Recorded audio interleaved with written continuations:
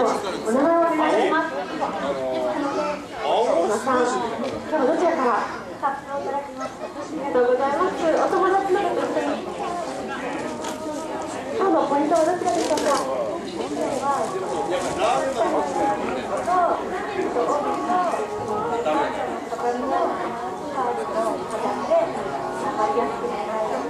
お土産は金魚のお土産になっております。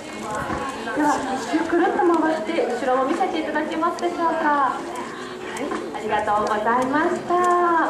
では続きまして一歩前に出ていただいてよろしいですか。お名前をどうぞ。福山はるむです今日はどちらからお種市内です